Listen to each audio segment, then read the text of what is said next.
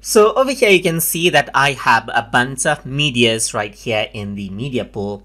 And when you're working uh, with a lot of media pool, uh, items, then it might be hard for you to find the exact thing that is the exact component that you want to import out onto your timeline. So in that case, you can sort it out right here. So over here, you can see that this is the media pool right here. You can go around and see different views as you can see just like this.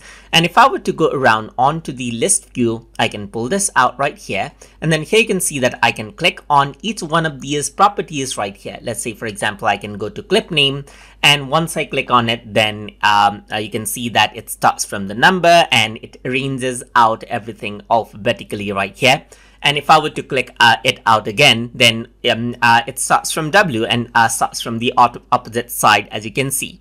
You can go around with the uh, start timing and the end timing over here as well. And as you go around, you can also go around and drag out the properties right here.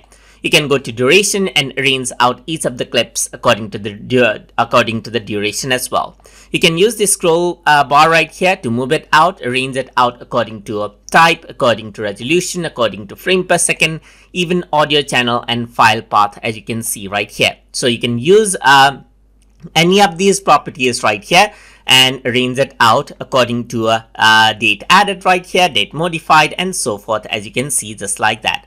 And that is what you have right here. You can go around and see that sort um, is an option over here. You can select ascending or descending right here and you can go around and then let's say for example you want to sort it by file name. You can just simply go around over here and select it out from over here like take scene shots and if the information is there then it'll sort it out with the information that you selected.